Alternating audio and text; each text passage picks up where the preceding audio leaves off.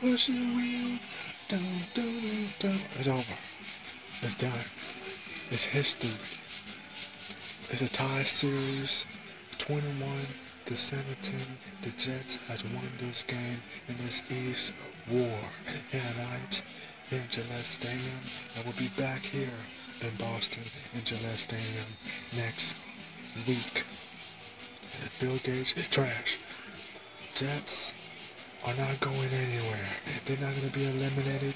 21 to 17 Super Cam with two. No, one touchdown, my bad. Joe, Joe Flacco, Joe Flacco with two touchdowns tonight to win this game. Wow. What a game. In the last minute, the Jets, the win here tonight in the last minute like they did against the Raiders in the fourth quarter.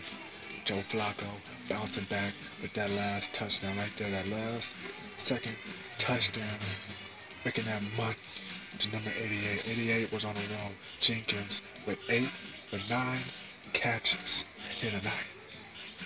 An incredible game. Defense with a touchdown after that after Super Cam number one Cam threw an interception.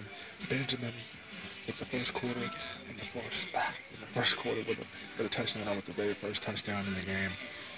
But the Jets somehow find a way to get the dub, to get in the lead for the first time, to be in the lead for the first time and win and stay there and win two touchdowns, like I said, for Joe Flacco, one touchdown for Super Cam.